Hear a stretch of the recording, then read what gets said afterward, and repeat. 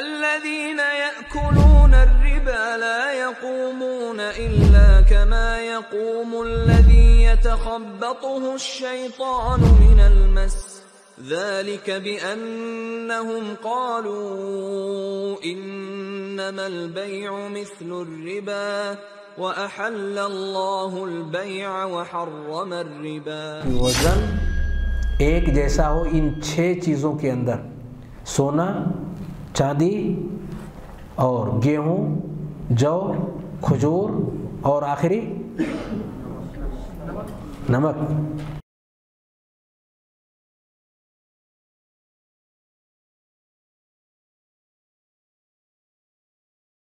السلام علیکم ورحمۃ اللہ وبرکاتہ۔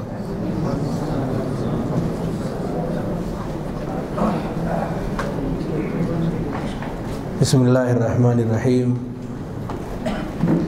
الحمد للہ رب العالمین والصلاة والسلام على رسول الأمین وعلى آلہ وصحبہ اجمعین ومن تبعهم بإحسان إلى يوم الدين أما بعد.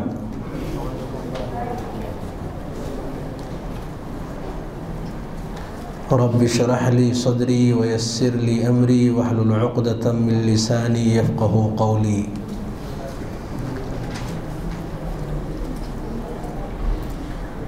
معزز حاضرین۔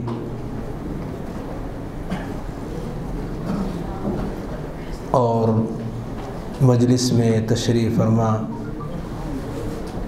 تمام سامعین۔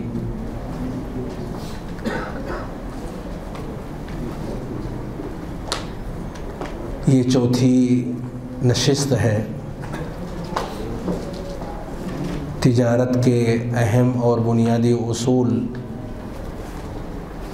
کے حوالے سے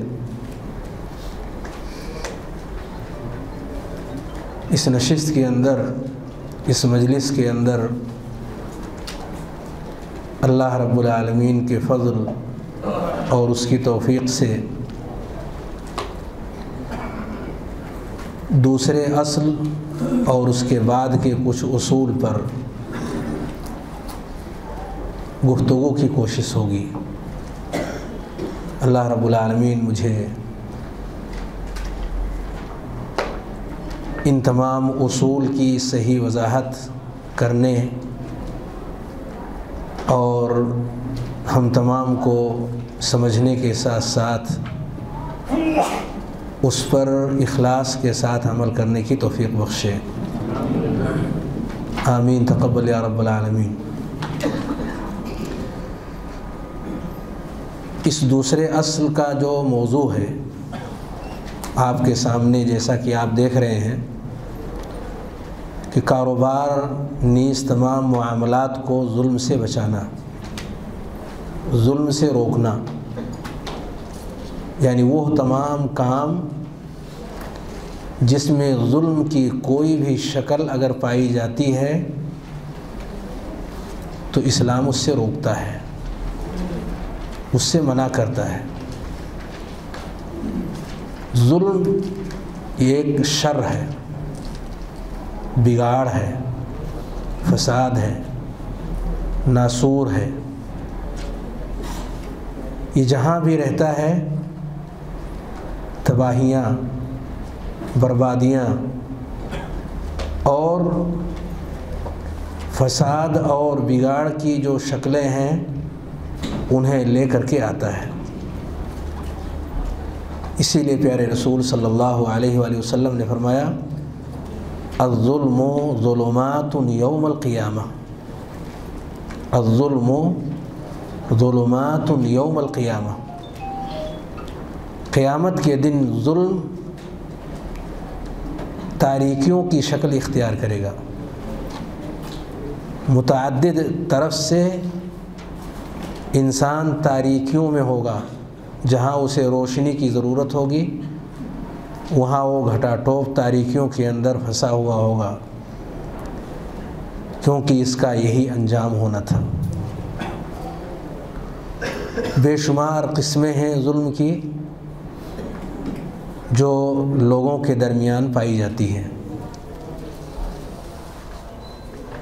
جتنی بھی اقسام ہیں، جتنے بھی اس کے انواع ہیں وہ مکمل سراسر شریعت اسلامیہ انہیں حرام قرار دیتی ہے اور اپنے ماننے والوں کو اس سے دور رہنے کا حکم دیتی ہے بچنے کا امر کرتی ہے کہ لوگ ظلم سے اپنے آپ کو بچائیں۔ اس سے پہلے کہ وہ دلائل جن کا تذکرہ مؤلف نے کیا ہے میں آپ کے سامنے پیش کروں۔ ایک بہت بنیادی معاملے کی طرف آپ کی توجہ موڑنا چاہتا ہوں۔ اور وہ ہے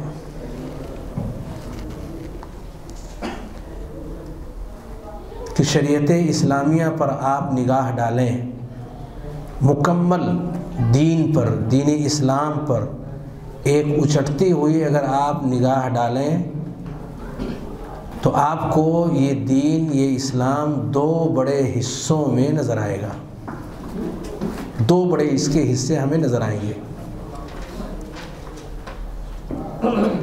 ایک حصے کا تعلق خبر سے ہے اور دوسرے حصے کا تعلق طلب سے ہے۔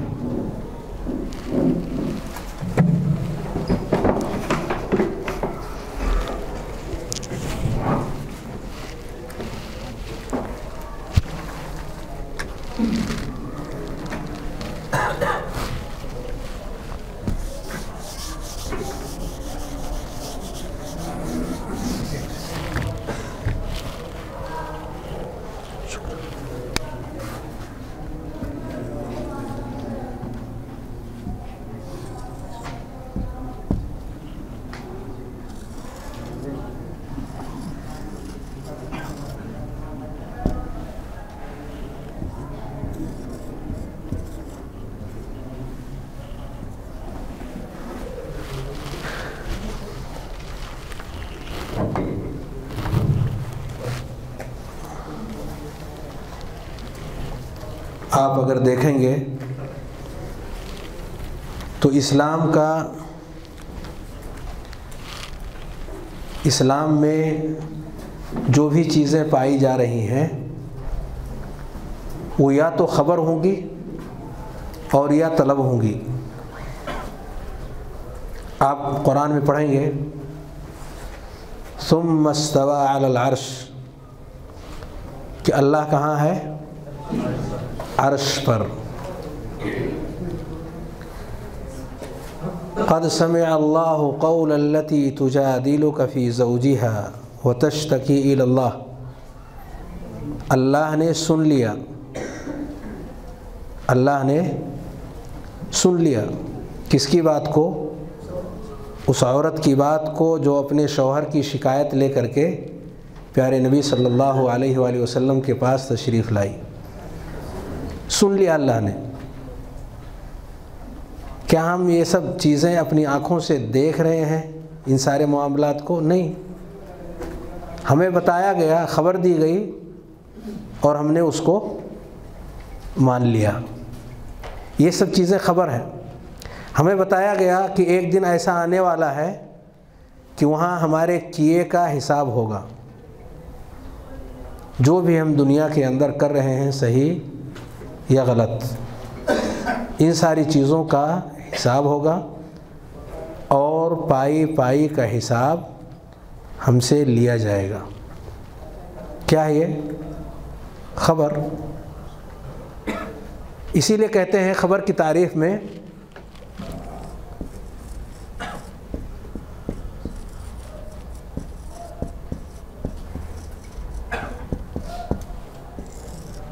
خبر نام ہے جس کے اندر سچائی اور جھوٹ کا احتمال پایا جائے۔ خبر کس کو کہتے ہیں؟ کچھ خبر صحیح ہوتی ہے اور کچھ خبر غلط ہوتی ہے۔ دونوں طرح کی خبریں پائی جاتی ہیں۔ آپ روزانہ خبریں پڑھتے ہیں۔ کیا ساری کی ساری خبریں صحیح ہوتی؟ نہیں۔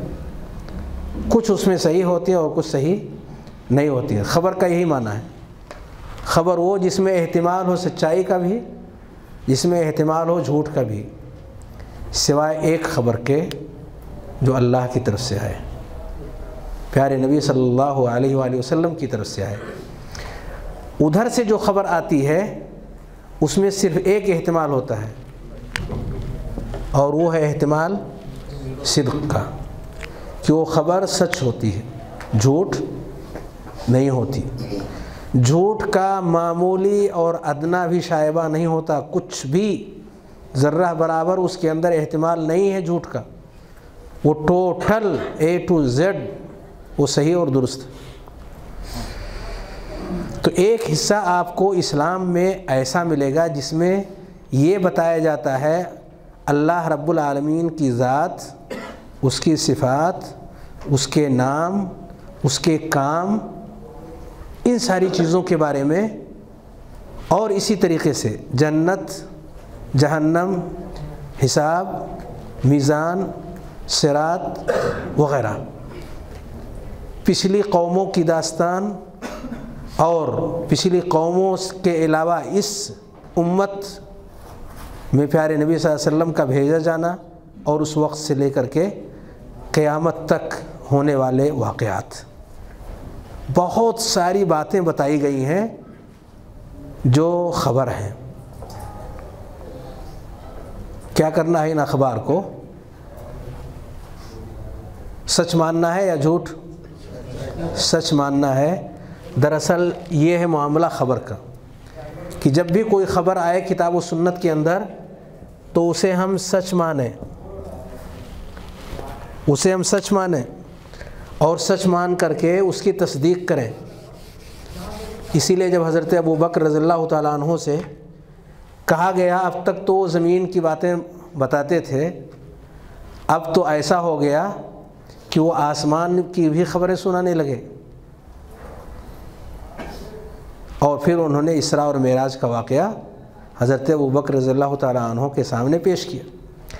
کہا، اگر خبر دینے والے پیارے نبی صلی اللہ علیہ وسلم ہیں تو بالکل سچ۔ اگر خبر دینے والے نبی کریم صلی اللہ علیہ وسلم ہیں تو بالکل سچ۔ یہ ایمان کہتا ہے۔ اور یہ حضرت ابو بکر کے ساتھ خاص نہیں، سارے مومنین کے لیے ہے۔ سارے مسلمانوں کے لیے ہے کہ جو بھی خبریں آئیں اللہ اور اس کے رسول کی طرف سے، ذرہ برابر شک اور شبہ کی گنجائش اس کے دل و دماغ کے اندر نہ رہے۔ دوسرے لفظوں میں آپ اس کو عقیدہ بھی کہہ سکتے ہیں۔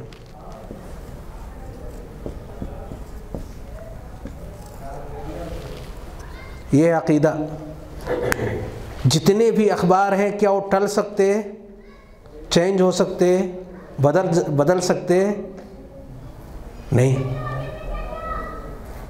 جتنی باتیں رب کے حوالے سے بیان کی گئی ہیں، کیا اس میں کچھ چینجنگ آ سکتی ہے؟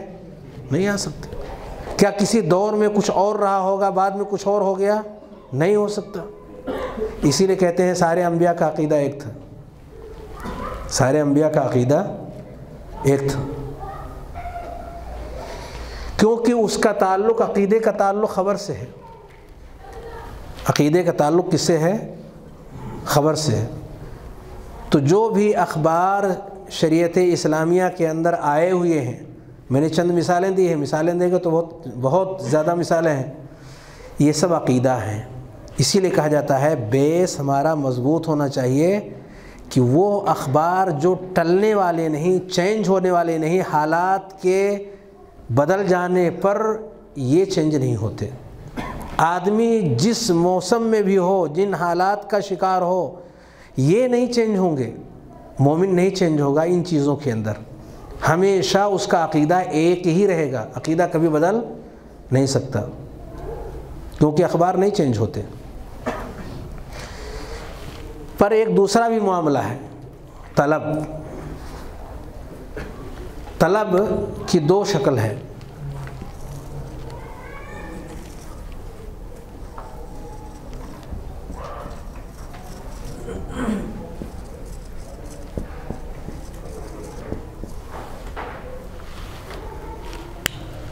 طلب الفعل اور طلب الکف۔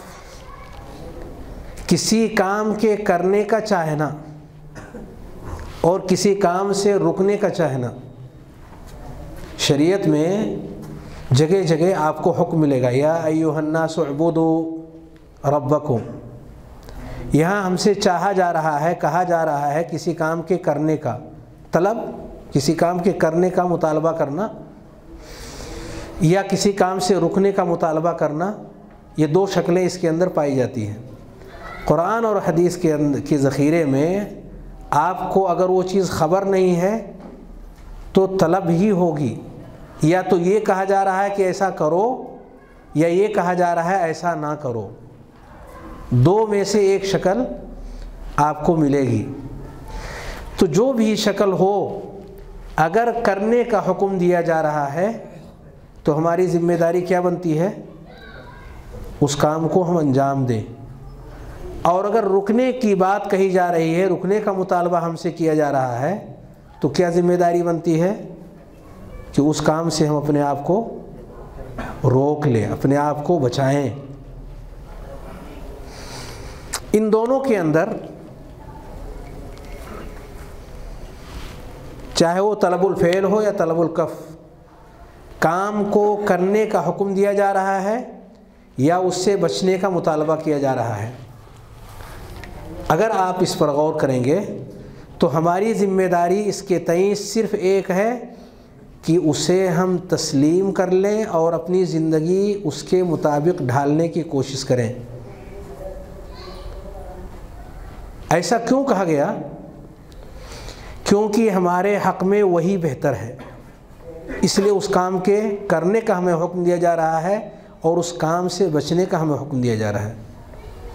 اگر اس سے ہم ہٹتے ہیں تو دنیا میں بھی اور دین کے اعتبار سے بھی، رب کے حکم کے اعتبار سے بھی دونوں اعتبار سے ہم نقصان، گھاٹے اور خسارے میں ہوں گے۔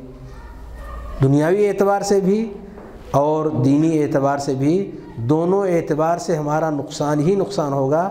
اس میں نفع اور فائدے نام کی چیز نہیں ہوگی، جیسا کہ اس سے پہلے والے سیشن میں میں نے اشارہ دیا تھا۔ اس لیے ہمیں ایسا کرنا ہے۔ دونوں کی بنیاد آپ لے لیں تو ایسا ہم کیوں کرنے پر اپنے آپ کو پاتے ہیں کہ ہمیں اس کے مطابق ہی کرنا ہے؟ کیونکہ اسی میں ہمارے لیے خیر ہے اور یہی عدل ہے۔ اسی کا نام عدل ہے۔ ہمیں ایسا کرنے کا حکم دیا گیا کیونکہ جتنے بھی احکام ہیں شریعت اسلامیہ کے، کرنے کے ہوں یا رکنے کے۔ یہ سارے کے سارے عدل پر قائم ہیں، انصاف پہ قائم ہیں۔ انصاف پر قائم ہیں۔ یعنی اس سے ہٹ کر کے اگر سوچیں گے تو وہ نقصان اور خسارے کا ذریعہ اور سبب بن جائے گا۔ اگر فائدے کی سوچتے ہیں، دیکھتے ہیں، تو اسی حکم کے دائرے ہی کے اندر وہ انسان رہ کر کے اپنے آپ کو دینی اور دنیاوی اعتبار سے مفید بنا سکتا ہے۔ گویا کہ احکام اسلام دائرے عدل کے اندر گھرا ہوا ہے۔ جتنے بھی احکام کرنے یا نہ کرنے کے ہیں، وہ عدل کے بیس ہی پر قائم ہیں۔ اسی لیے اللہ رب العالمین نے فرمایا وہ تمت کلیمت و رب کا صدقوں عدلہ پورا کلام الہی ان دونوں کلمے سے گھرا ہوا ہے۔ انہی دونوں کلمے سے مکمل ہو گیا ہے۔ کلام جو اللہ نے اتارا سچائی کے ساتھ اور عدل کے ساتھ۔ یہ سچائی کے ساتھ اور یہ عدل کے ساتھ۔ پورا کلام، پورا اسلام۔ کیونکہ یا تو وہ خبر ہے تو سچی ہے، اور یا وہ طلب ہے تو عدل ہے۔ یعنی کرنے یا نہ کرنے کی بات کہی جا رہی ہے، تو اس لیے کہ اسی میں ہمارے لیے خیر چھپا ہوا ہے۔ عدل کے بیس پر وہ حکم دیا گیا ہے۔ تو صدق اور عدل یہی دونوں اسلام کی اصل بنیاد ہیں۔ مکمل اسلام کی۔ ابھی جو گفتگو چل رہی ہے، دوسرا اصل اس کا تعلق اسی عدل سے ہے۔ اسی عدل سے۔ طلب الکف ہمیں، ہم سے مطالبہ کیا جا رہا ہے کہ ہم اس چیز سے بچیں کیونکہ یہ ناسور ہے۔ عدل کو قائم کریں اور عدل کو قائم نہیں کرتے ہیں تو ظلم ہمارے درمیان آئے گا۔ آئیے ذرا اس کی کچھ تفصیلات لیتے ہیں۔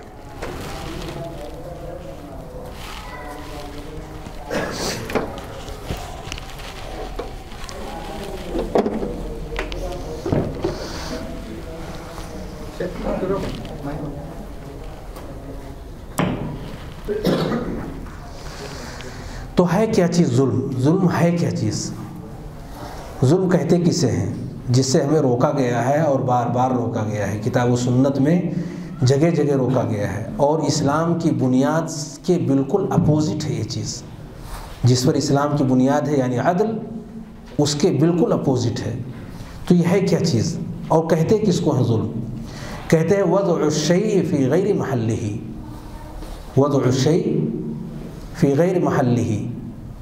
کسی چیز کو اس کی اپنی متعین جگہ کے علاوہ میں اس کو رکھنا۔ کسی بھی چیز کو، دینی یا دنیاوی۔ اس کی اپنی جو جگہ متعین ہے، اس جگہ سے ہٹا کر اور جگہ میں اس کو رکھا۔ تو یہ اس کے ساتھ ظلم ہوگا۔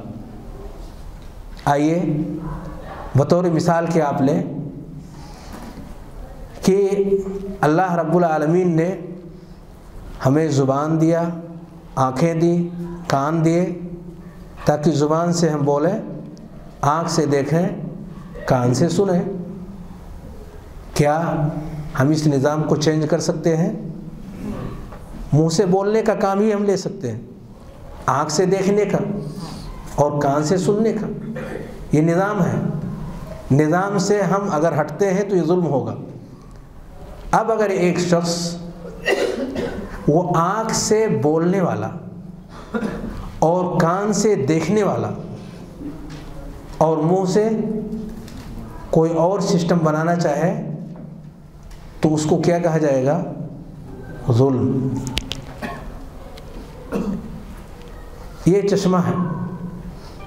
اگر اسے آپ سر کے اوپر لگائیں تو کیا آپ کی بینائی میں اضافہ ہوگا؟ چشمہ تو لگا رکھا ہے۔ ڈاکٹر نے چشمہ دیا، ہم نے لگا لیا۔ لیکن اس کی جگہ میں لگائیں گے تو اضافہ ہوگا۔ اس کی جگہ یہ ہے، اگر اسے کان کے پاس کچھ ایسی ترکیب بنا لیں اور کان کے پاس لگائیں، یا منہ کے حصے پر اسے فٹ کرنے کی کوشش کریں، تو کیا ہماری بینائی کے اندر اضافہ ہو سکتا؟ نہیں ہوگا۔ اور اس عضو کے ساتھ ہی ظلم ہوگا۔ کیونکہ اس کے لیے تیار نہیں کیا گیا ہے۔ ایسے ہی ہر چیز کا ایک نظام ہے جو انسانوں نے تیار کیا یا قدرت نے تیار کیا، اللہ رب العالمین نے تیار کیا۔ اگر اس کی اپنی جگہوں سے ہٹا کر کے اسے کیا جائے تو اپنی معنویت وہ کھو دیتی ہے، اپنے کام کا سلسلہ وہ روک دیتی ہے، بند ہو جاتی ہے۔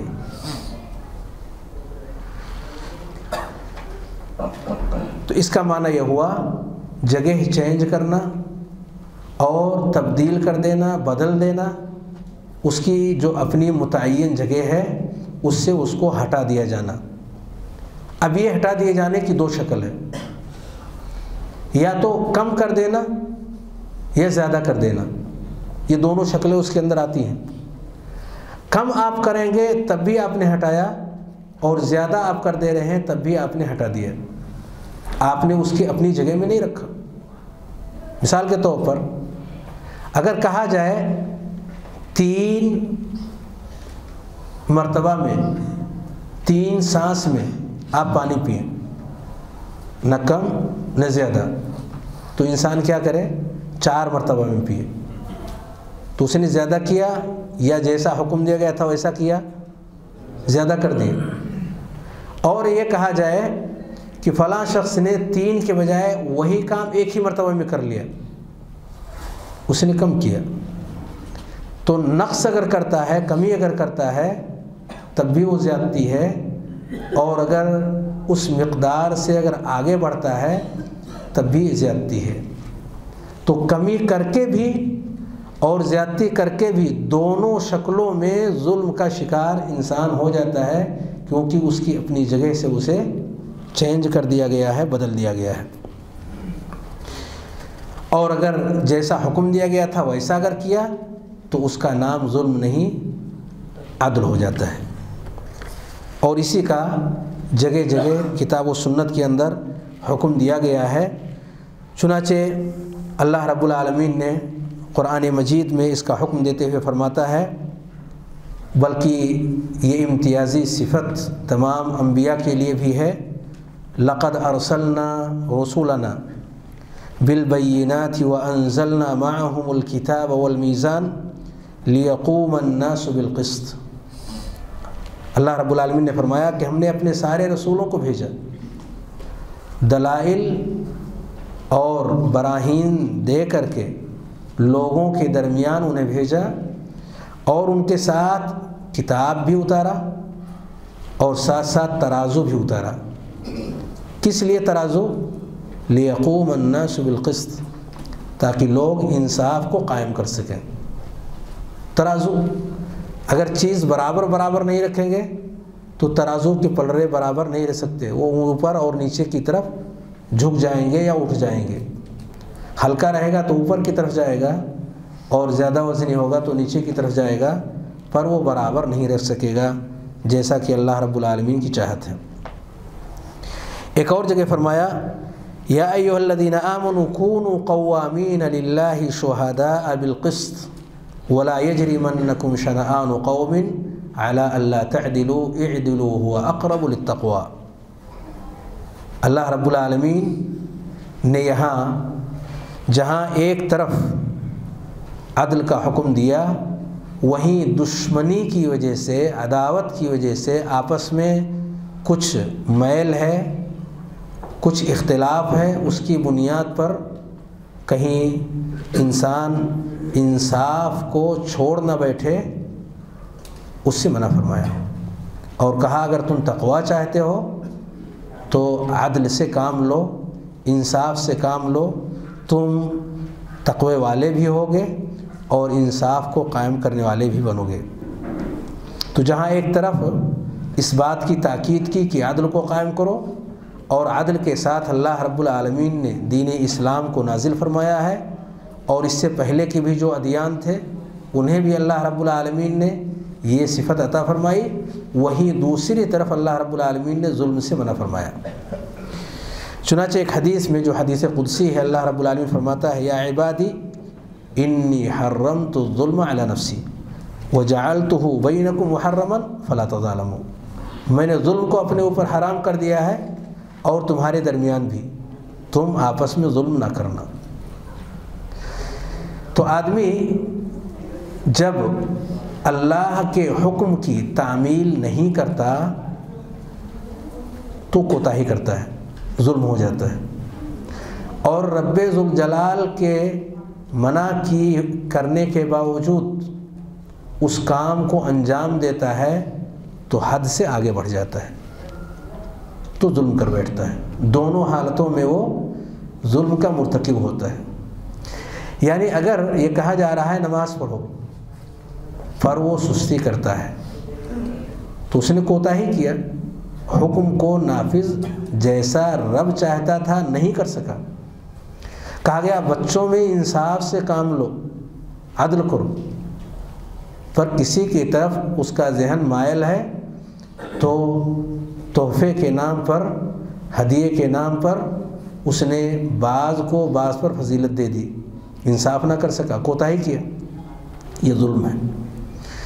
دوسری طرف ظلم یہ بھی ہے کہ دشمنی میں آیا تو گالی دے بیٹھا۔ منع کیا گیا تھا۔ غیبت کر بیٹھا، منع کیا گیا تھا۔ چغلی کر بیٹھا، منع کیا گیا تھا۔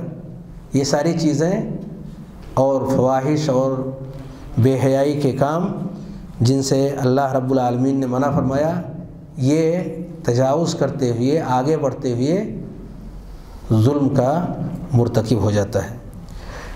گویا کہ رب ذوالجلال ان ساری چیزوں سے منع کرتے ہوئے ظلم سے روکتا ہے۔ ظلم کی ایک شکل کاروبار کے اندر اور اس کا تذکرہ قرآن مجید میں اللہ رب العالمین نے یوں بیان فرمایا، یا ایہا الذین آمنوا لا تأکلوا اموالکم بینکم بالباطل۔ اے ایمان والو، تم اپنے مال اور دولت کو باطل یعنی ناحق، تمہارا حق نہیں بنتا، پر اسے تم استعمال کر لے رہے ہو۔ کسی اور کی چیز ہے، کوئی اور مالک ہے اس کا، اس کی اجازت کے بغیر آپ اسے استعمال نہیں کر سکتے، پر آپ استعمال کر لے رہے ہیں، اس کی جو بھی وجہ ہو، یہ باطل طریقہ ہے اور یہ ظلم ہے۔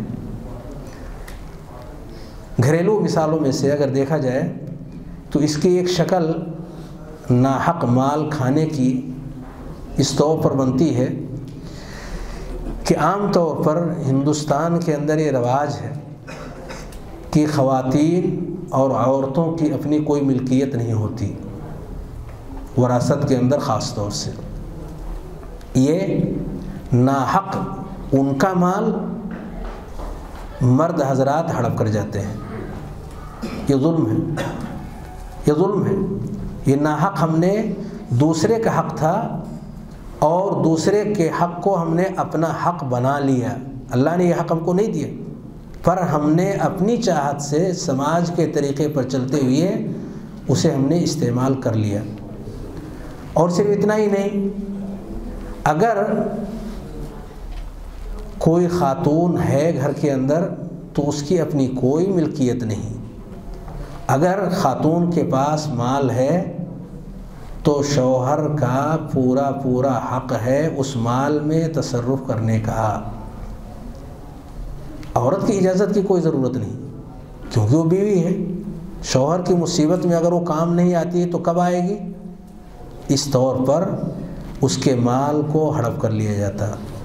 چاہت کا اور اس کے دل کی رضامندی کا کوئی اعتبار نہیں کیا جاتا، یہ ظلم ہے، یہ ظلم ہے۔ خواہ اس کا اظہار وہ عورت کرے نہ کرے، یہی حال بچوں کا بھی ہے۔ بچوں کی اپنی ملکیت ہے، شریعت اسلامی نے دی ہوئی ہے۔ کہا بچوں کی کیا ملکیت؟ بچوں کی جو چیز ہے وہی ماں باپ کی ہے۔ یہ ظلم ہے کہ بچوں کا حق ماں باپ اپنے نام پر ان کی جو بھی پراپرٹی ہو کر لیں۔ اگر ان کے اپنے نام کی کوئی ملکیت نہیں ہے، تو کیوں رب ذوالجلال نے اسے تقسیم کرنے کا حکم دیا؟ کہا یوسیکم اللہ فی اولادکم للذکر مثل حظ الانثیین، سورہ نساء میں۔ آگے کہا کہ ماں اور باپ کے لیے ایک بٹا چھ حصہ ہے۔ یہ ایک بٹا چھ کیا؟ وہ انہیں کا پورا تھا، پھر ایک بٹا چھ کہاں سے آیا؟ جب سب کچھ اولاد کا ماں اور باپ ہی کا رہا تو ایک بٹا چھ کہاں سے آیا؟ اللہ رب العالمین نے پورا دینے کے بجائے انہیں چھٹا حصے کا مالک بنایا۔ پر عملی طور پر بچے اگر نابالغ ہیں یا بالغ بھی ہو گئے ہیں، گھر میں بٹوارا نہیں ہوا تو ساری ملکیت والدین کے نام پر یہ ظلم ہے۔ جو اس مال کو عدم سے وجود میں لانے والا ہو، وہی مالک ہوتا۔ اس مال کو جو کمانے والا ہو، وہی مالک ہوتا۔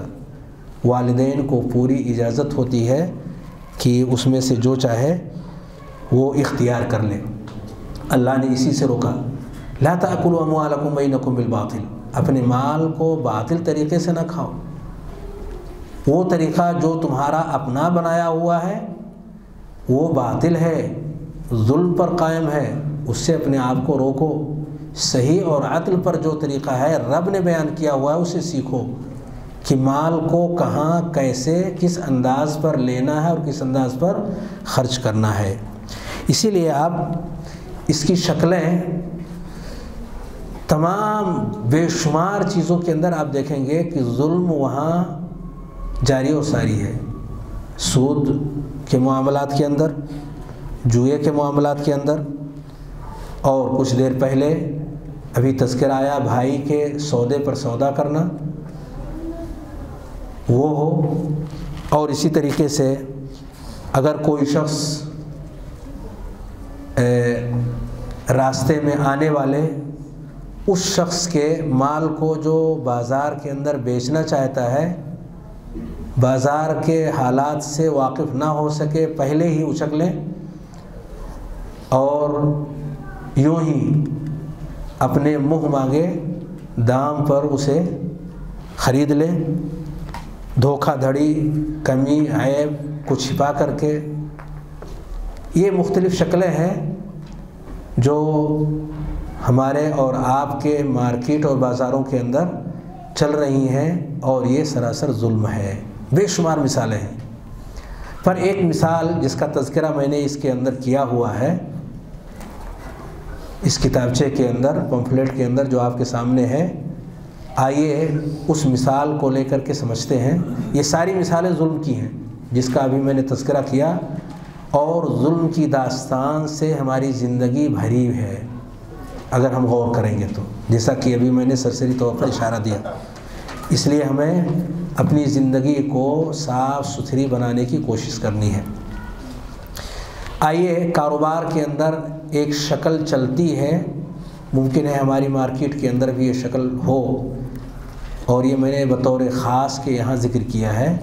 اسے سمجھنے کی کوشش کرتے ہیں۔ اسے عربی میں کہا جاتا ہے عقد الاجارہ المنتحیہ بالتملیک۔ عقد الاجارہ المنتحیہ بالتملیک۔ کرائے پر لیے جانے والے سامان پر مالکانہ حقوق۔ سامان کس چیز پر لیا؟ بطور کرایہ۔ بطور کرایہ کہ ہم نے ایک سامان لیا، آپ فرض کریں آپ نے ایک گاڑی لی، ایکو گاڑی۔ کرائے پر اسے چلائیں گے۔ اور یہ کہا گیا کہ آپ ہر مہینے اتنے اتنے پیسے آپ جمع کرتے رہیں۔ آپ نے پابندی کے ساتھ اس کے پیسے مہینے مہینہ کے آتے ہی اسے جمع کر دیا۔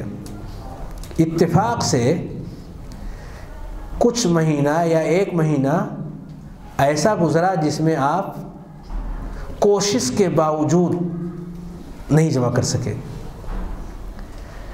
جو پچھلا حصہ آپ کا گزرا ہے، اس کی حیثیت زیرو کے برابر کر دی جاتی ہے۔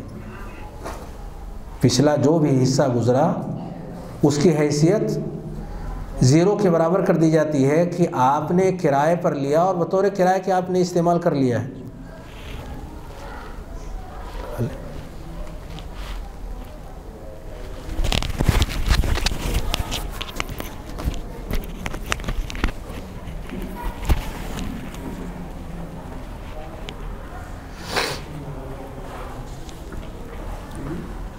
اور اگر اس کی ساری قسطیں آپ ادا کرنے میں کامیاب ہو جاتے ہیں، تو وہ گاڑی آپ کے نام پر منتقل کر دی جائے گی یعنی آپ اس کے مالک ہو جائیں گے۔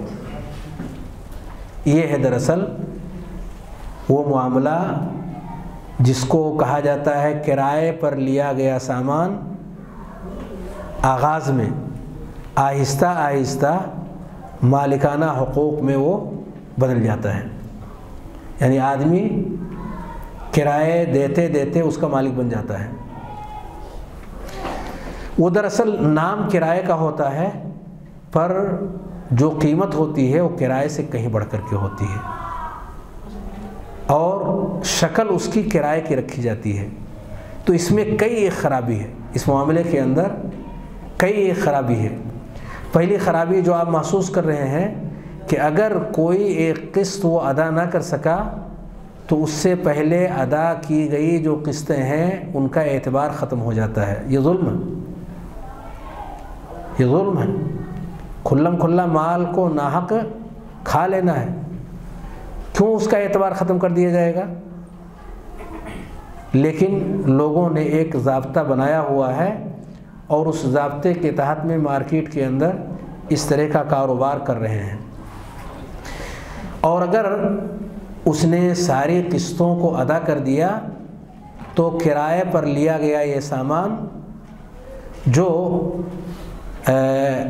وقت ختم ہو جانے کے بعد اس کے مالک کو واپس کرنا ہوتا، اسے واپس نہیں کرنا ہے کیونکہ وہ خود مالک ہو چکا ہے۔ کیونکہ ساری قسطیں اس نے اس کی ادا کر دی ہیں۔ اس میں ایک خرابی اور بھی ہے۔ اور وہ یہ کہ ایک ہی سامان میں دو قسم کا بیع جائز اور درست نہیں ہے۔ ایک ایک ہی سامان پر دو بیع، دو سودا۔ بیک وقت اگر کوئی انسان کرتا ہے تو اس کا یہ کرنا صحیح اور درست نہیں ہوتا۔ ایک ہی سودا صحیح ہے۔ دیکھیے کرائے پر اگر کوئی شخص لیتا ہے تو نفع کا سودا کیا جاتا ہے۔ یعنی اس سامان کا سودا نہیں، سامان کے ذریعے سے اٹھایا جانے والا فائدہ جو ہے، اس کا سودا کیا جاتا ہے۔ یہ معنی ہے کرائے کا۔ آپ جب کوئی کسی بلڈنگ میں جاتے ہیں کمرے لینے کے لیے کرائے پر، فلیٹ لیتے ہیں کرائے پر، تو کیا اس بلڈنگ کو آپ خریدنے والے مالک اور اونر بن کر جاتے ہیں؟ نہیں۔ آپ اس لیے جاتے ہیں تاکہ اس مالک کے اس فلیٹ کے اندر کچھ دنوں تک رہیں گے اور رہائش کا فائدہ آپ کو حاصل ہوگا۔ یہ فائدہ ہے نفع۔ ہے تو کرائے کا مطلب ہے نفع پر عقد۔ نفع پر کاروبار۔ نفع کے اوپر سودا۔ تو یہ سودا نفع کا ہوتا ہے۔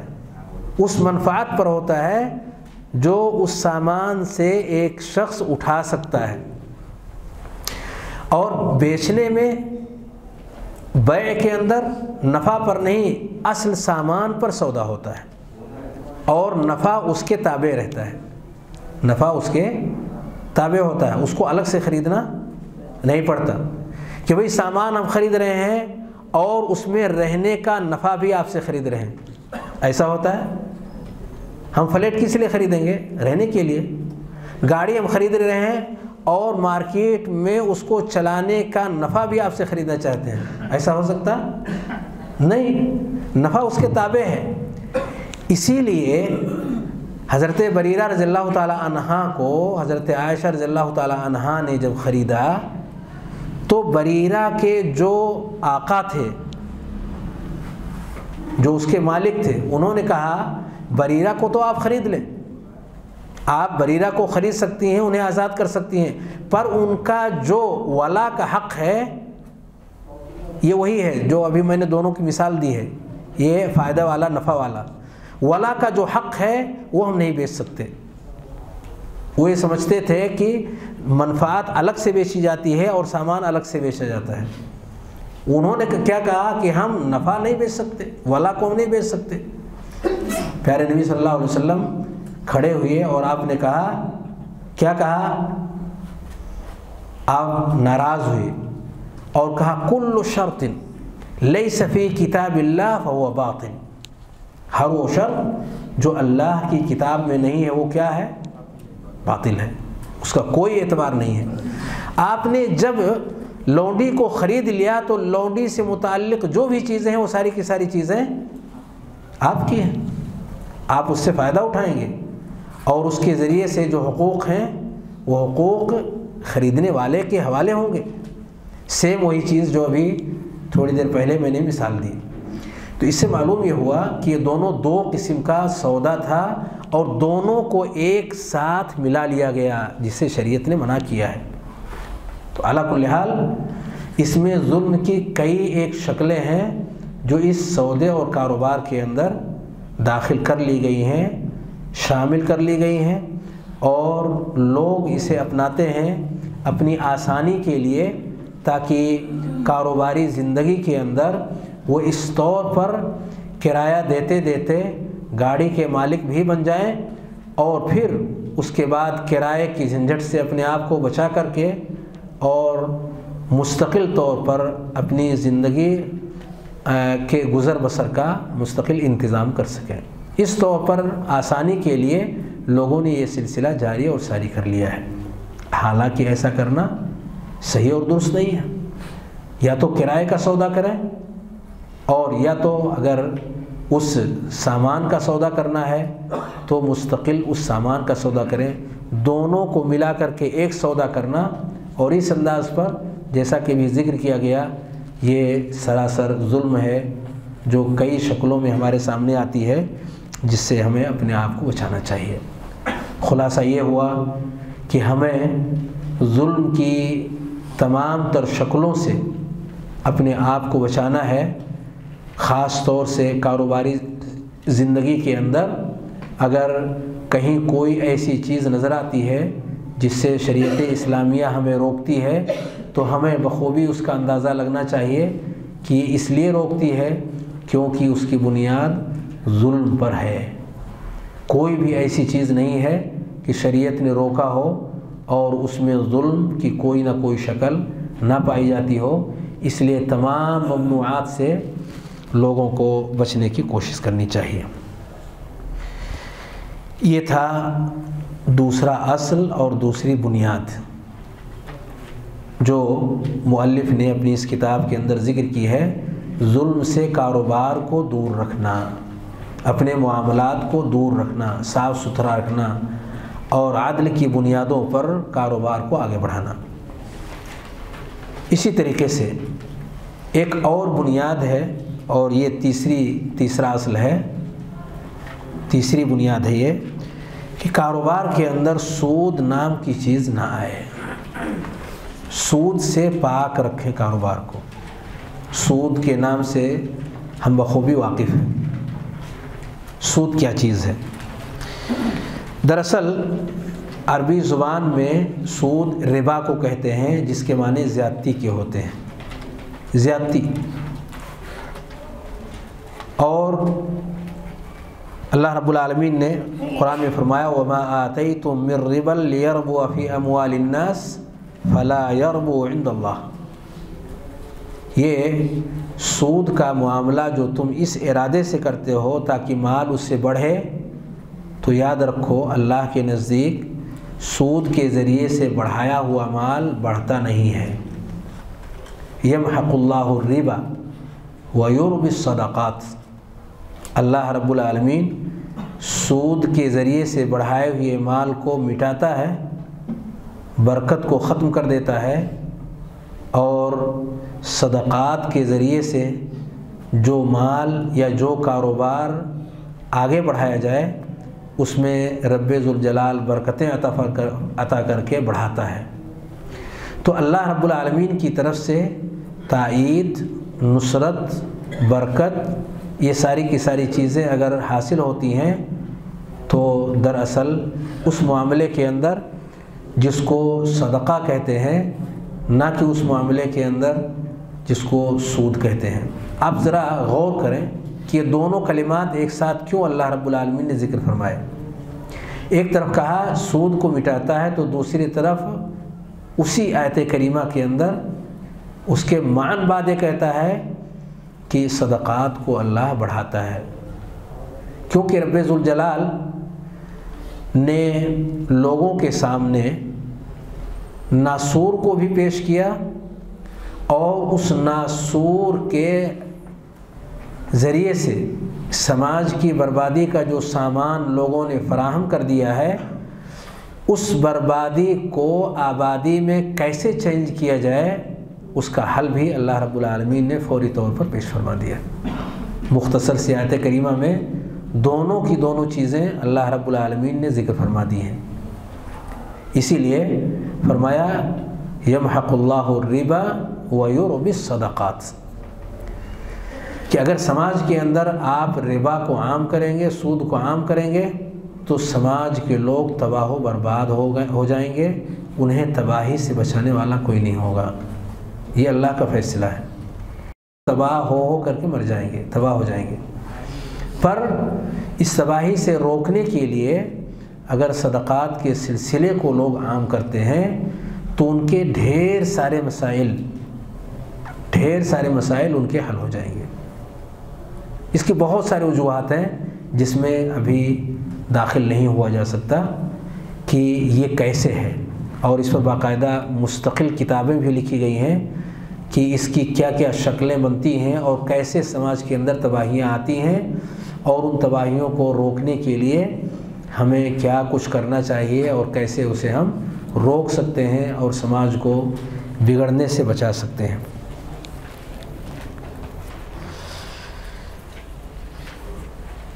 یہاں میں سود کے حوالے سے چند اہم باتوں کو وضاحت کے ساتھ ذکر کرنا چاہتا ہوں کہ کتاب و سنت کے اندر سود کی بڑی مذمت آئی ہوئی ہے اور وہ یہاں ابھی بیان کرنا مقصود نہیں ہے۔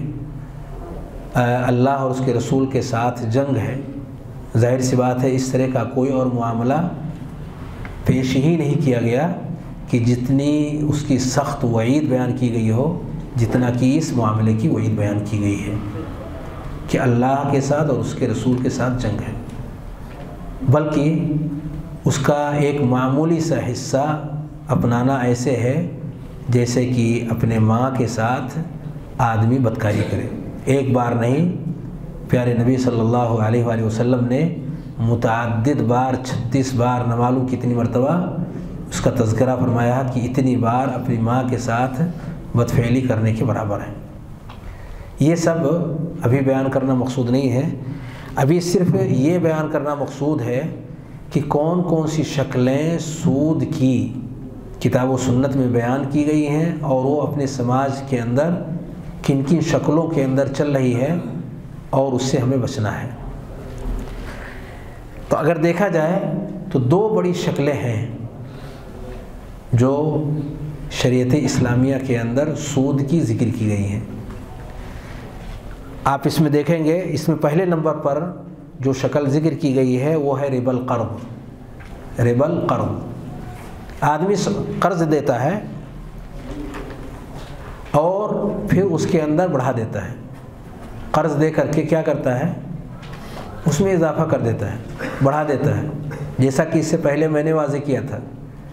کہ ایک سامان ہم نے ادھار خریدا، ادھار کا مطلب کیا ہو؟ قرض۔ ادھار کا مطلب کیا ہوتا ہے؟ قرض۔ یعنی پیسہ ہم نے نہیں دیا، ہم نے کہا بعد میں دیں گے۔ یہی ہے قرض۔ کہ ہم نے سامان کو بطور قرض خریدا اور جب اس کی ادائیگی کا وقت آیا تو ہمارے پاس ادا کرنے کے لیے پیسے نہیں ہیں، یا اتنے نہیں ہیں کہ ہم پورا ادا کر سکیں۔ تو ہم سے یہ کہا جائے کہ آپ کے لیے اور بھی وقت آپ کو اور بھی وقت درکار ہے، ہم آپ کو وقت دے سکتے ہیں، پر آپ بھی کچھ اس کے اندر اضافہ کریں۔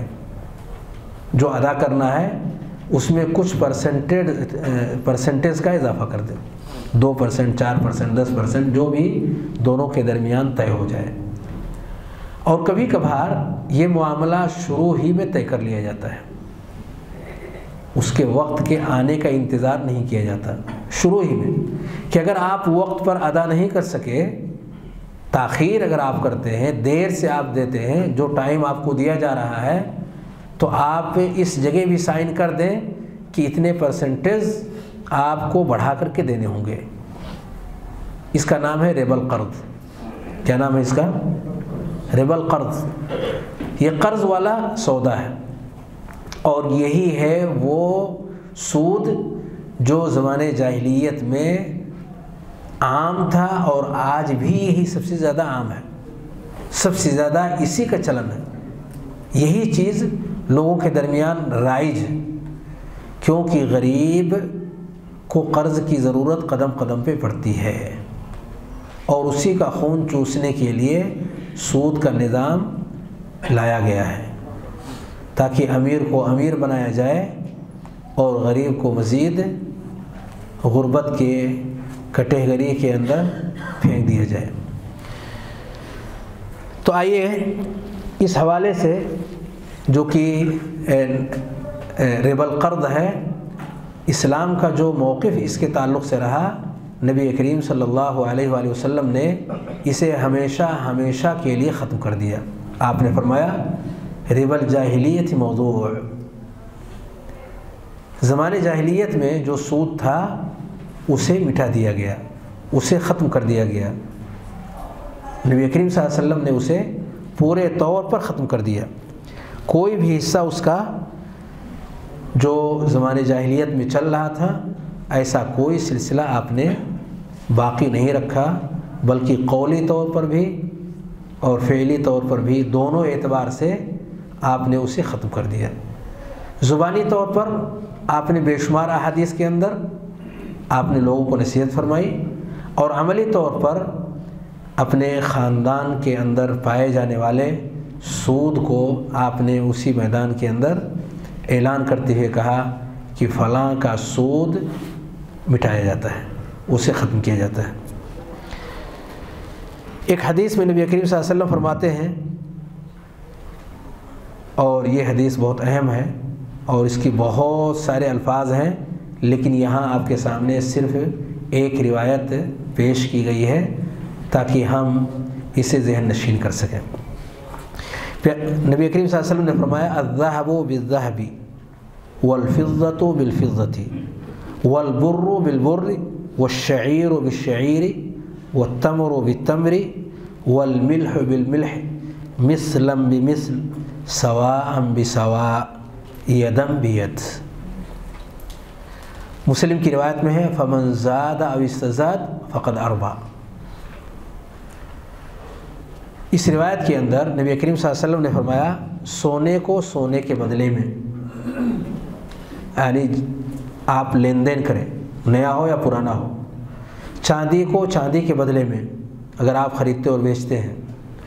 اور اسی طریقے سے گیہوں کو، گیہوں کے بدلے میں، جو کو، جو کے بدلے میں، کھجور کو، کھجور کے بدلے میں، نمک کو، نمک کے بدلے میں۔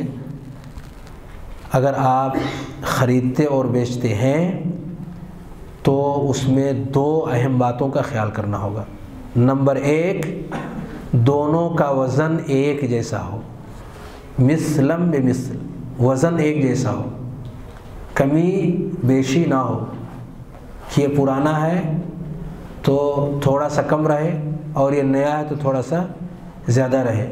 یہ اعلیٰ کوالٹی کا ہے، اعلیٰ کوالٹی کا ہے، اس لیے اس کا وزن کم رہے اور یہ ادنا کوالٹی کا ہے معاملی، معمولی تو اس کا وزن بڑھا دیا جائے۔ جیسا کہ حضرت بلال رضی اللہ تعالیٰ عنہ کے ساتھ ہوا تھا کہ وہ لوگ دو سا کھجور دے کر کے، جو ردی کھجور تھا اچھا والا کھجور ایک سا لیتے تھے۔ ایک طرف دو اور ایک طرف ایک سا۔ نبی کریم صلی اللہ علیہ وسلم نے جب سنا تو آپ نے کہا او وہ عین الربا۔ افسوس، یہ تو خالص سود ہے۔ یہی سود ہے۔ سود یہی ہے۔ سود یہی ہے کہ ایک طرف آپ نے دو سا کھجور رکھا ہوا ہے اور ایک طرف ایک سا کھجور۔ وزن برابر نہیں، سامان برابر نہیں۔ پھر آپ نے ایک راستہ دکھایا اور کہا، اگر آپ کو یہ اچھا والا سامان لینا ہے، تو آپ نے کہا بیل جم بالدراہم ثم افتع من الدراہم جنیبا آپ یہ جو ردی والا کھجور ہے، اسے آپ بیچ دیں۔ کس سے؟ روپے اور پیسے سے۔ اور پھر اس روپے اور پیسے سے آپ یہ اچھا والا کھجور خرید لیں۔ ایک صاف ستھرا راستہ آپ نے لوگوں کو دکھایا۔ اور یہ اسلام کا ایک امتیازی باب ہے کہ وہ اگر کوئی ایک دروازہ بند کرتا ہے تو ایک آسان سا دروازہ اس کے لیے کھول دیتا ہے۔ تو یہاں نبی کریم صلی اللہ علیہ وآلہ وسلم نے جس بات کے اہتمام کا تذکرہ فرمایا ہے کہ وزن ایک جیسا ہو ان چھ چیزوں کے اندر، سونا، چاندی اور گیہوں، جو کھجور اور آخری نمک۔ یہ کل چھ چیزیں ہیں۔ ان چھ چیزوں کے اندر ہمیں رعایت کس چیز کی کرنی ہے؟ اگر جنس ایک ہے، اگر جنس ایک ہے، جنس کا مطلب اگر اس طرف بھی کھجور ہے، اس طرف بھی کھجور ہے۔ دونوں کا جنس کھجور، یہ جنس بھی کھجور، یہ جنس بھی کھجور۔ کوالٹی الگ ہو سکتی ہے، اس کی نو اس کی قسم الگ ہو سکتی ہے، یہ اعلیٰ درجے کا، یہ ادنا درجے کا ایسے چاول میں بھی ہے۔ یہ الگ الگ ہو سکتی ہے۔ پر اگر وہ گیہوں کی جو بھی قسم ہو، اور ادھر بھی گیہوں کی جو بھی قسم ہو، اگر وزن دونوں کا سیم سیم ہے، تو یہ پہلی شرط ہے جو پوری ہوئی ہے۔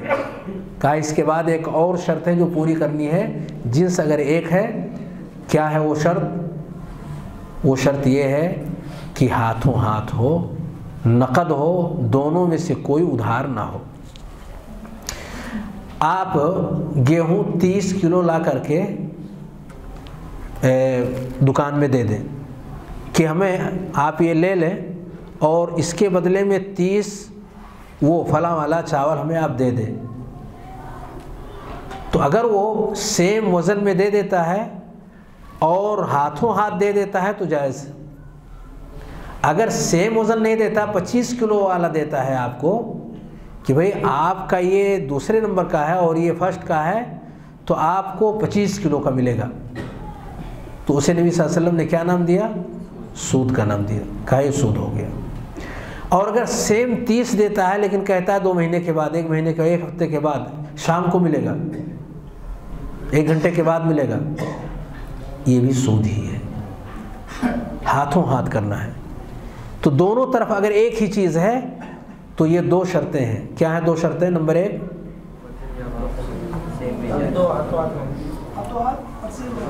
ہاتھوں ہاتھ کا مطلب نقد۔ ہاتھوں ہاتھ کا مطلب نقد۔ یہ تو ایک ہو گیا۔ سیم وزن ہو۔ سیم وزن ہو۔ یہ دونوں چیزوں کا پایا جانا ضروری ہے۔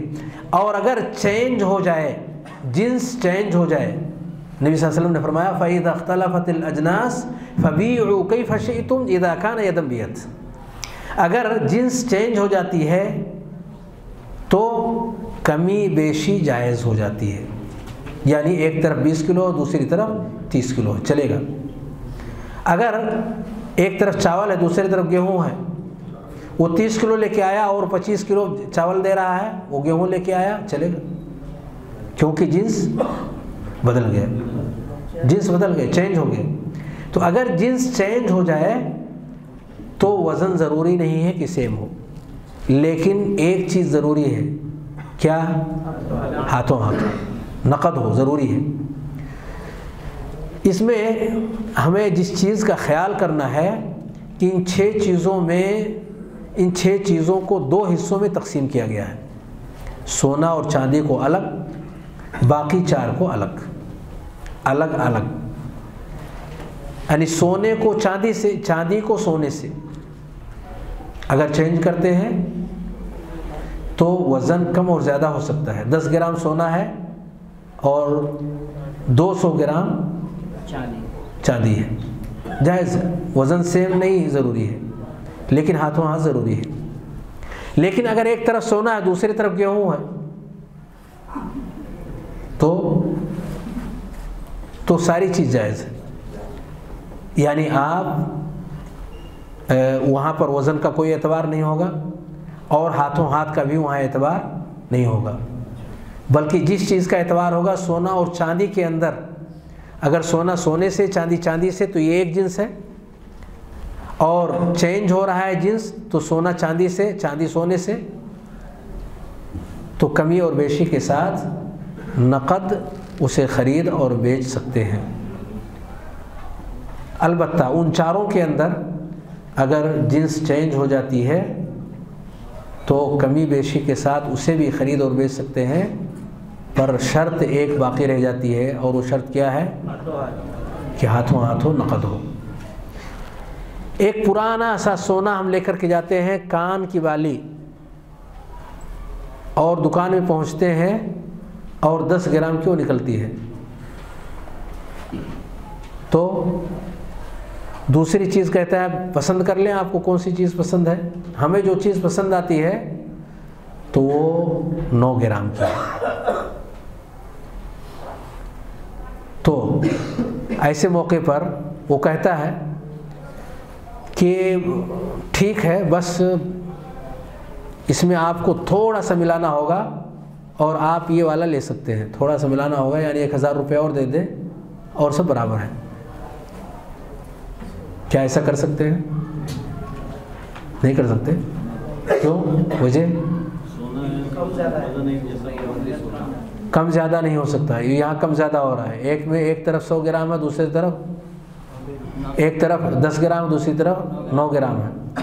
وہ کہتا ہے، وہ پرانا ہے، یہ کٹ جائے گا، وہ کٹ جائے گا، وہ بھی نو ہی گرام ہو جائے گا۔ کیا کریں گے؟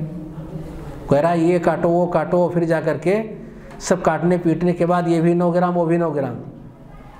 تو چلے گا پھر؟ جائز ہو جائے گا؟ کاٹنے پیٹنے کے بعد؟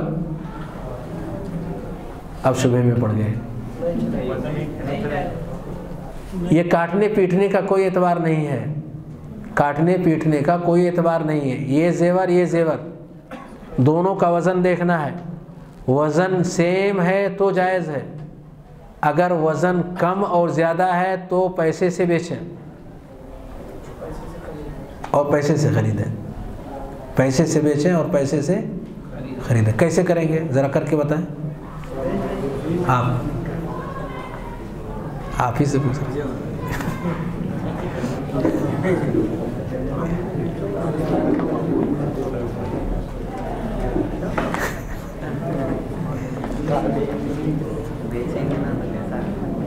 اگر ہمیں خریدنا اور بیچنا ہے، وقت ہو چکا ہے، اس لیے میں اسی پر بس کر رہا ہوں۔ اب سوال جواب کبھی وقت شروع ہو گیا نا۔ تو پہلے میں ہی سوال کر لوں۔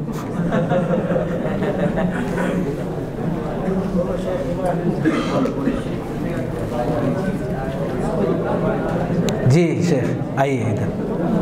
تھوڑی سی وضاحت کر دیجیے نہیں نہیں، وہ والا وہ والا نمبر بعد میں آپ کریں۔ یہ میرا سوال ہے، اس کے لیے نمبر کی ضرورت نہیں ہے۔ ابھی میں نے کیا سوال کیا ہے؟ کون بتائیں گے؟ ماشاء اللہ اتنے سارے لوگ جی بتائیے، کیا سوال کیا میں نے؟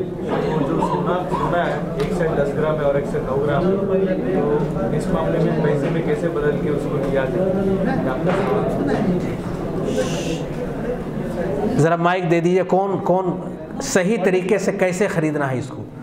مارکیٹ میں اگر ہم جائیں تو کیسے کیا کرنا ہے؟ پرانا اور نیا سونا چونکہ یہ کام بہت زیادہ ہوتا ہے، اس لیے میں کہہ رہا ہوں، عملی طور پر آپ بتائیں۔ آپ بتائیں گے؟ جی بتائیے۔ ایک آدمی بتائے گا۔ ان کو ہے مائک؟ ہاں جی کھڑے ہو کے، کھڑے ہو کے، کھڑے ہو کے۔ ہاں۔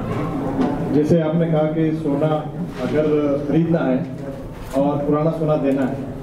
تو پرانے سونے کو پہلے بیچ دیں گے اور بہتر شکل یہ رہے گی کہ ایک دکان میں بیچے اور دوسری دکان سے خریدیں سیم دکان سے نہیں خرید سکتے؟ یعنی سیم دکان سے خریدے تو اس میں کچھ اوپر نیچے کر سکتا ہے۔ اگر ہمیں ایک چیز پسند آ گئی ہے اس دکان کے اندر تو کیا ہم اس سامان کو نہیں لے سکتے ہیں؟ لے سکتے ہیں۔ اسی کی شکل بتانی ہے اسی کو واضح کرنا ہے۔ آپ وہ گولڈ کی جو ویلیو ہوگی اسے نقد بیچ دے پہلے اور اپنا پرانا سونا بیچ کے پیسے لے لے اس سے اور بعد میں اس میں اضافہ یا کمی جو اپنا بچتا ہے ریٹ اس سے نیا لے لے جو بھی پسند ہو نو گرام- کا ہو یا دس گرام۔ کا ہو۔ اتنا تو میں بتا چکا تھا۔ ابھی جو باقی ہے اس کو بتانا ہے۔ شیخ جو نو گرام کا سونا ہے جو پرانا والا اس کو بیچ دے۔ مثال کے طور پہ وہ نو ہزار میں بک گیا اب اس کے بعد جو نیا جو خریدنا ہے وہ اگر دس ہزار میں سامنے والا ڈیمانڈ کرا اب اس میں ہم ایک ہزار ڈال کے پھر نیا والا خرید سکتے ہیں۔ یہ سیم بات ہے جو انہوں نے بتائی ہے۔ شیخ آپ نے شروع میں ایک دم کلیئرلی بتایا تھے سونا اور چاندی کے لیے جنا ہو پرانا ہو ایکسچینج کرتے سمے سیم ریٹ پہ دینا پڑے گا سیم ریٹ پہ لینا پڑے گا۔ سمجھے؟ نہیں سمجھا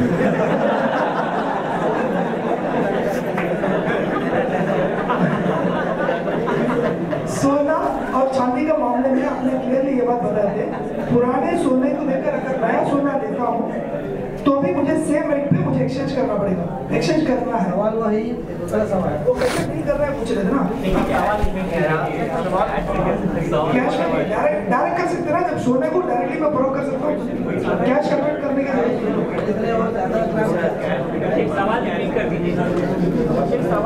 کلیئر نہیں ہو پایا۔ آخری کوشش۔ وہاں سے ہاتھ اٹھ رہا ہے ان کو دے دیجیے۔ اکبر بھائی وہاں پیچھے میں یہ آخری کوشش ہے۔ اس کے بعد پھر میں اس کا جواب دیتا ہوں۔ السلام علیکم۔ السلام۔ شیخ میں تو کیا کروں گا؟ پہلے بیچ دوں گا اس کو۔ جی ماشاء اور اللہ دیکھوں گا یہ مسئلے ہیں نا تو گھر چلے جاؤں گا۔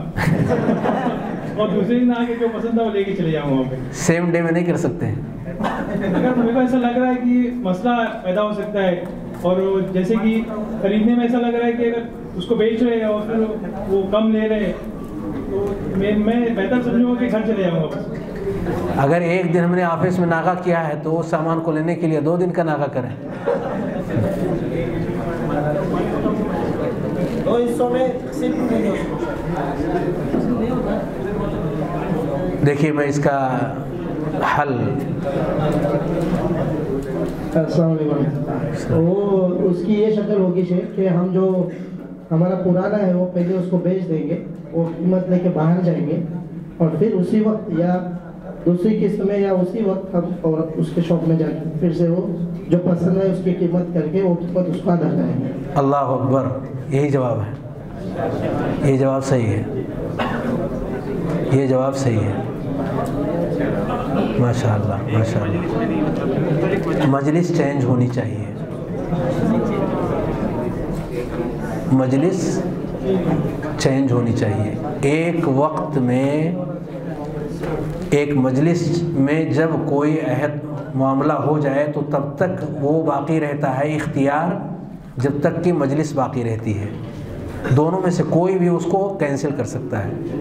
خریدنے والا بھی کینسل کر سکتا ہے، بیچنے والا بھی کینسل کر سکتا ہے۔ پر اگر ہم نے مجلس کو چینج کر دیا، تو وہ بے مکمل ہو گئی۔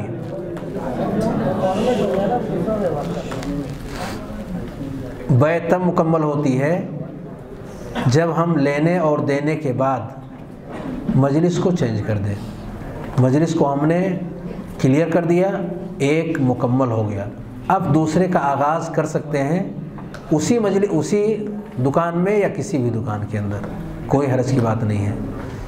آسانی ہے اسلام کے اندر، پر مسائل کو سمجھنے کی ضرورت ہے۔ تو یہ نیا ہے، یہ پرانا ہے۔ الحمدللہ، یہ تو پہلے آپ سمجھ لیے۔ کہ جس ریٹ پر بھی دونوں کا اتفاق ہو جائے، نئے اور پرانے کو خرید اور بیچ سکتے ہیں، کوئی متعین ریٹ نہیں ہے کہ ایک ہی ریٹ دونوں کے لگانا ضروری ہے، جس پر دونوں کا اتفاق ہو جائے۔ پر پرانا بیچنے کے بعد اگر اس میں کچھ ملانا ہے، تو اسی مجلس کے اندر ملا کر کے دوسرا اگر ہم خریدتے ہیں، تو یہ پورے طور پر مکمل نہیں ہوتا۔ مکمل تب ہوتا ہے جب مجلس چینج ہو جائے، ختم ہو جائے اور دوسری مجلس کا آغاز کر لیں۔ تو اس طور پر یہ دونوں عمل پورے طور پر صحیح اور درست شکل میں اختیار کر جاتا ہے۔ جزاکم اللہ خیر۔